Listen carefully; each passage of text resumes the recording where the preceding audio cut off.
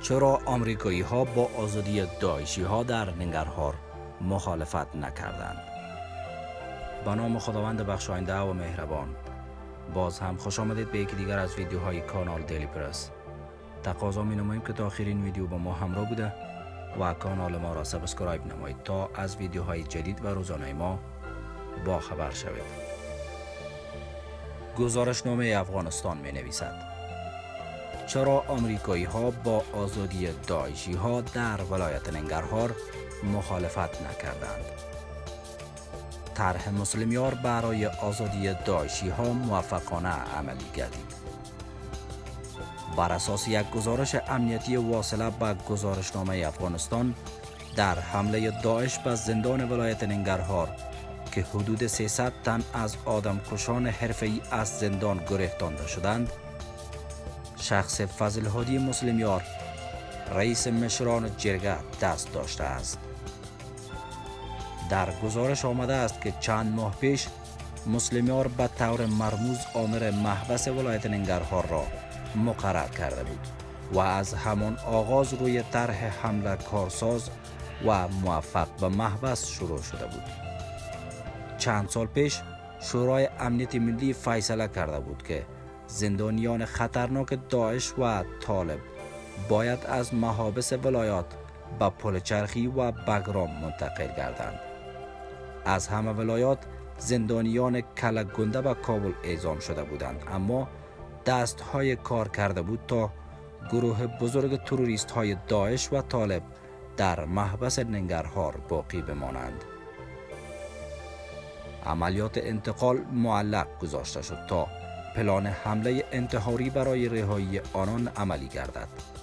از ابتدا قرار بر این بود که زندانیان خطرناک از طریق یک تونل شبیه آنچه در قندهار در زمان کرزی فهیم تراحی شد آزاد شوند.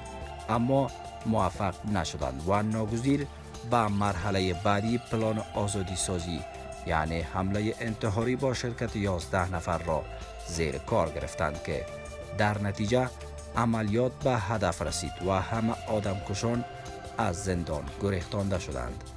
اکنون تنها 210 زندانی جنایی دو روز پیش به زندان پلچرخی انتقال یافتند. مسلمیار با برکناری آمر زندان پایش را از قضیه کشید و از سوی هیچ مرجع مؤاخذه نگردید. این واقعه پرسش برانگیز است. طرح مسلمیار بیخ گوش پایگاه ایالات متحده امریکا در میدان هوایی ننگرهار برای فرار دادن داعشی ها این احتمال را تقویت می کند که ایالات متحده امریکا نیز از این عملیات خبر داشتند و با آن مخالفت نشان ندادند. آیا خاموشی ایالات متحده امریکا در این رابطه با برنامه های بعدی آنان رابطه دارد؟ در همین حال انفجار در شهر کابل دو کشته و پنج زخمی بر جای گذاشت. هشت صبح کابل پلیس کابل می‌گوید که در پی انفجار ماین جاسازی شده در یک کروچی در مربوطات حوزه پنجم شهر کابل دو تن کشته و پنج تن دیگر زخمی شدند. یک زن نیز در میان قربانیان این رویداد شامل است. این حادثه حوالی ساعت 3:38 دقیقه پس از چاشت روز یکشنبه 19 اسد سال 1399 در منطقه بازار کمپنی رخ داده است. فردوس فرامرز سخنگوی پلیس کابل بر روزنامه 8 صبح گفت که این ماین هنگامی منفجر شد که نیروهای امنیتی آن را تخلیه می کردند. مسئولیت این انفجار را فرد و یا گروه بر نگرفته است. این حادثه لحظات پس از پایان لوی جرگه مشورتی صلح به وقوع پیوسته است. این لوی جرگه تحت تدابیر شدید امنیتی از 17 هم تا 19 هم اسد سال 1399 در کابل برگزار شده بود.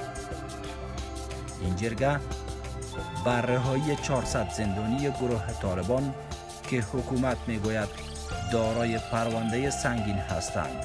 رای مثبت داد. در عین حال وزارت امور داخله اعلام کرده است که در پی انفجار ماین کنار جاده ای در ولسوالی ارغستان ولایت کندهار هشت تن کشته شدند. طارق آریان سخنگوی وزارت امور داخله گفته است که این انفجار ساعت 4 سی دقیقه روز یکشنبه رخ داده است. با تشکر که تا آخر این ویدیو با ما همراه بودید. منتظر نظریات و پیشنهادات نیک شما هستیم. تا ویدیوهای دیگر خدا یار و نگهدارتان. اوقات خوش داشته باشید.